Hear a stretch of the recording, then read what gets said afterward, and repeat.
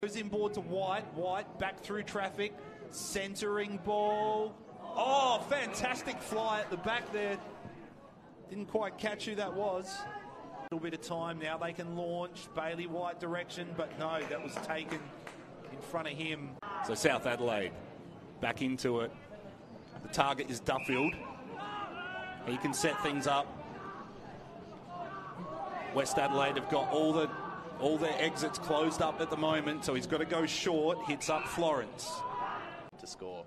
Westy's just searching for that polish at the moment. They're getting it in there, creating the opportunities, but it's just exacting.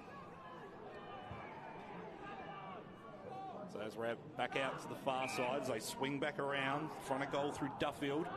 Duffield now has to go back the other way, so it goes out to the far side. Dylan inboard if he wants to go there. Has two minds about it, but ends up going long. The ball's going to drop.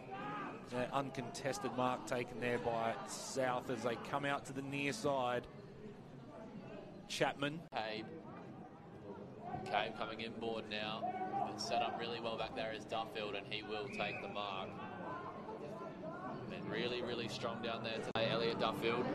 And the ball will reset. Hodgson, dump kick outside the contest. It gets a half forward. It gets the territory.